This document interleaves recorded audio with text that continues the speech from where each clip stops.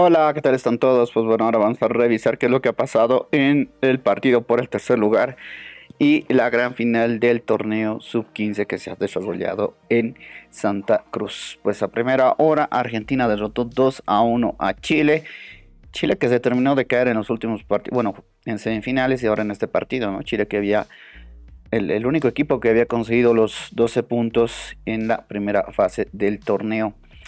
Bueno, como ya les había comentado en un anterior video, pues nos tenemos que conformar con la crónica que nos ofrece el periódico El Deber.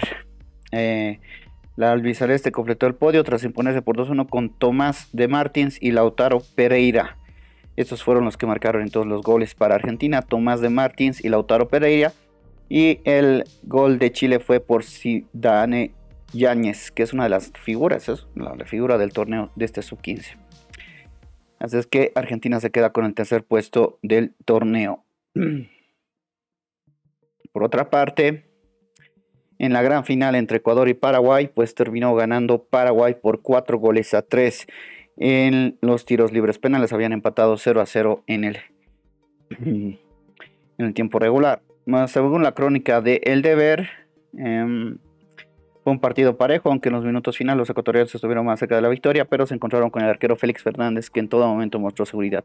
Fernández fue clave también en la tanda de penales, porque cuando su equipo ganaba 4-3 y le quedaba un solo disparo a Ecuador, tapó el remate de Justin García y de esa manera los paraguayos celebraron el campeonato. O sea, este arquero ya había sido figura, ¿no? Porque fueron con penales también ingresaron aquí a la final.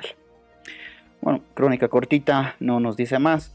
Estos son los goleadores del torneo. Sidane Yáñez de Chile con 5 goles. Pues, un gran jugador. Habrá que ver cómo lo van formando allá en Chile. Juan Angulo de Ecuador con 4 puntos. Y Justin Lerma con 3 puntos. Lerma. Angulo y Lerma, ¿no? Los dos jugadores de Ecuador. Y Alan Ledesma de Paraguay con 3. Y Tomás de Martins con 3 de Argentina. Esos son los goleadores del torneo sudamericano sub-15. El mejor arquero, obviamente que Félix Fernández, ¿no?